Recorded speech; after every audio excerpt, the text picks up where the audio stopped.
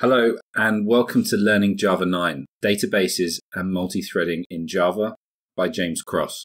So, I'm James Cross. I'm a certified AWS Solutions Architect. I've got more than 10 years' experience of designing and implementing Java applications and my current speciality is uh, designing and building serverless web services and big data applications. Uh, and I'm a director at Colibri, which is a, a, consulting company that helps people solve these sorts of problems, particularly focusing on AWS solutions. So don't worry, you're in good hands. I've been working in this technical space for some time now, and I'm going to be your guide through Java 9 and learning how to use databases and multi threading. So let's take a look at what we're going to learn in this course. First of all, an introduction to databases, what they are, why we need them, and how to use them, and perhaps most importantly, uh, a comparison of the different types of database available to you, notably relational and non relational. Next, we're going to look at how we can use something called an object relational mapper, technology called Hibernate, to persist and retrieve Java objects from a database. Don't worry if you don't know what that means, everything will be explained.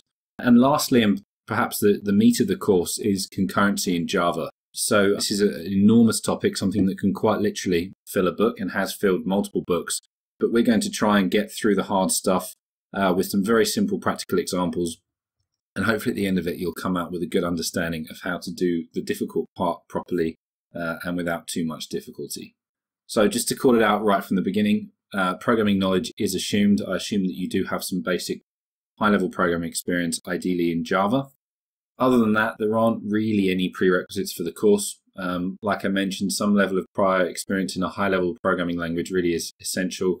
Uh, and obviously, you'll need a computer as well. So, hopefully, by the end of this course, have a good understanding of these six points. Uh, firstly, understanding what a database is, the types available, and why we need them. You'll have a good understanding of how to set up a relational database. We're going to use Postgres, but really anything is appropriate. Uh, we're going to use an object relational mapping layer to work with the database in Java 9. We need to understand the motivations behind multi-threaded programming. We want to learn how to avoid the common pitfalls of concurrency and multi-threaded programming.